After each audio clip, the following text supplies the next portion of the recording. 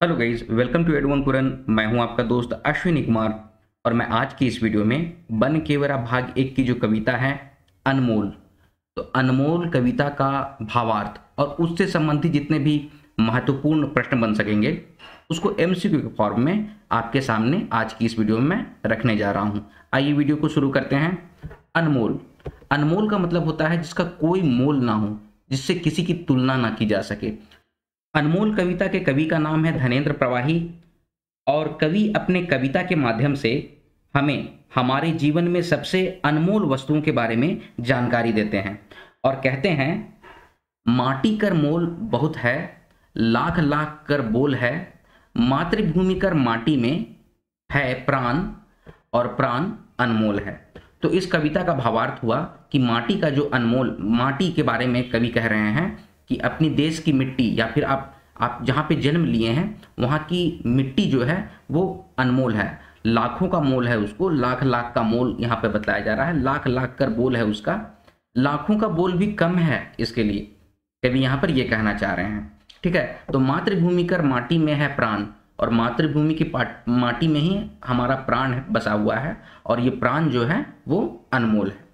अगली पंक्ति है, नारी देवे जन्म जगत के शेकर रूप अनमोल है, एहे नारी माए, और माए कर दूध परम अनमोल है। इस पंक्ति में कवि कह रहे हैं कि जो नारी है, वो जन्म देती है, जन्म देने वाली होती है, और उनकी तुलना किसी से नहीं की जा सकती है। यही नारी माँ होती है, और माँ का जो दूध है, वो परम अनमोल है। देखिए, बच्चा जब जन्म लेता है तो पहले उसे माँ का दूध पिलाया जाता है। ठीक है? ये माँ का दूध जो होता है, वो अनमोल होता है। आपको यहाँ पे मैं कुछ इंपॉर्टेंट पॉइंट बतला दूँ कि माँ के दूध में रोगाणुनाशक तत्व होते हैं, ठीक है? माँ का जो दूध होता है, उसमें रोगाणुनाशक एक तत्व होता है, जो कि बच्चा जैसे भी जन्म लिया है ना, बच्चा को हर प्रकार के खतरों से बचाता है। तो वो जो बचाता है, उसका नाम होता है, जो एंटीबॉडीज जो माँ के दूध में जनरेट होता है, उसका नाम है आईजीए ठीक है? करंट अफेयर्स या फिर साइंस के क्वेश्चंस में ये पूछे जा सकते हैं आपको कंपटीशन में कि माँ के दूध में क्या होता है, जो प्रतिरक्षी का काम करता है एंटीबॉडीज का काम करता है, ठीक है? तो ये आईजीए जो होता है, यही माँ के दूध में होता है, ठीक है?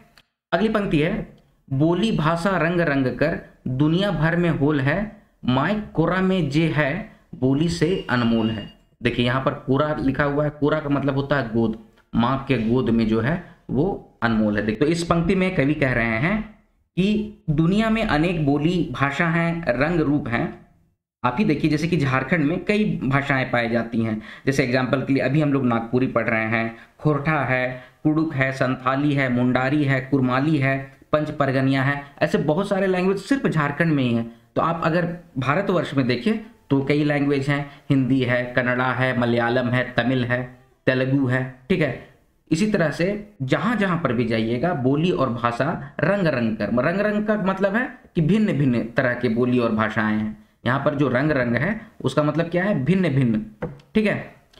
तो दुनिया भर के होल हैं मतलब दुनिया भर में अलग अलग बोली और भाषाएँ हैं, लेकिन मायकुरा में जो है, बोली से अनमोल है। लेकिन माँ की गोद में मतलब कि मातृभूमि जहाँ पर आप जन्म लिए हैं तो यहाँ पर कवि क्या कह रहे हैं कि जो आपकी मातृभाषा है तो मातृभाषा का जो कोई मोल नहीं हो सकता है। ठीक है? आपकी मातृभाषा ही अनमोल है। ठीक है? अगले पंक्ति में चलते हैं। जननी जन्मभूमि कर महिमा, सरगो ले बड़होल है, सबसे माधुर अपनी बोली, निज भाषा अनमोल है। इस छंद में कवि कह रहे हैं कि जननी जन्मभूमि का महिमा, जहाँ पर आपने जन्म लिया है, आपकी जो मातृभूमि है, उसकी महिमा जो है, वो स्वर्ग से भी, यहाँ क्या लिखा हुआ? स्वर्गो स्वर्ग मतलब कि स्वर्ग से भी बड़ा है। ठीक है? यहाँ पर मैं एक आपको एक उदाहरण बतला दूँ कि जब प्रभु श्री राम लंका पर विजय किए तो लक्ष्मण जी ने पूछा कि क्यों ना यहीं पर रहा जाए? कितनी सुंदर है ये, स्वर्ण की बनी हुई लंका है। तो प्रभु श्री राम ने लक्ष्मण जी को जवाब दिया कि जननी जन्म भूमिश्च स्वर्गादपि गिरियशी तो इसका उसका मतलब है लंका सोने की बनी हुई है, सुंदर सी नगरी है ये, लेकिन जननी की जो जो जो मातृभूमि है, वो स्वर्ग से भी बड़ी होती है।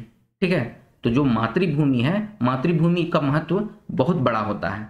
ये प्रभु श्री राम रामायण में लक्ष्मण को समझाते हैं, ठीक है? तो सबसे मधुर आपन बोली निज भाषा अनमोल है। तो यहाँ पर कभी फिर से कह रहे हैं कि अपनी बोली जो होती है, मातृभाषा जो होती है, वो अनमोल होती है। तो अगर इस कविता का सार देखा जाए तो कवि इसमें तीन चीज़ों पे बल देते हुए कहते हैं कि इनका कोई मोल नहीं है। इसकी तुलना किसी भी चीज़ से नहीं की जा सकती है। पहला क्या है? आपकी मातृभूमि, जहाँ पर आपने जन्म लिया है, जननी जननी जन्मभूमि, ठीक है? दूसरा वो बोल रहे हैं माँ का दूध। माँ का दूध जो होता है, वही बच्चे को प्रतिरक्षा, जो मैंने बतलाया कि बच्चे बच्चे को सबसे पहले माँ का दूध पिलाया जाता है और उसी माँ के दूध को पीने के बाद उसमें ताकत आ जाती है, ठीक है? तो उसका भी कोई मोल नहीं है। माँ के दूध का मोल कहीं पर नहीं है, ठीक है? और तीसरी जो बात सबसे अनमोल चीज़ है, वो है आपकी मातृभाषा। ठीक है? जहाँ पर आपने जन्म लिया, उस भाषा में माँ के कोरा से जो भी भाषा आप सीखते हैं, माँ की गोद में जो भी भाषा आप सीखते हैं, वो अनमोल है। यानी कि पहला आपका जन्मभूमि, दूसरा माँ का दूध और तीसरा आपकी मातृभाषा। ये अनमोल है। तो ये है कविता का भावार्थ। यहाँ पर देखिए, कुछ शब्दार्थ शब्दार्थ दिए हुए हैं। मोल। मोल का मतलब होता है दाम, जगत। जगत का मतलब होता है दुनिया। अमोल या अनमोल, इसका मतलब होता है जेकर मोल नखे। नखे का मतलब ये नहीं है, जिसका मोल नहीं है। महिमा महिमा का मतलब महत्तम और मधुरी मधुरी का मतलब है मधुर या मीठा। तो ये है अनमोल, कविता के भावार्थ और शब्दार्थ। आइए, अब इससे संबंधित जितने भी महत्वपूर्ण प्रश्न बन सकते हैं, उसको एमसीक्यू के माध्यम में हम लोग करके देखते हैं। तो पहला प्रश्न है, अनमोल कविता के रचनाकार कौन आए? तो आपके ऑप्शन है धर्मेंद्र प्रवाही, हनुमान सिंह, अर्जुन भगत या जय गोविंद मिश्र। तो इसका करेक्ट आंसर हो जाएगा ऑप्शन ए धर्मेंद्र प्रवाही। अनमोल कविता के रचनाकार धर्मेंद्र प्रवाही हैं।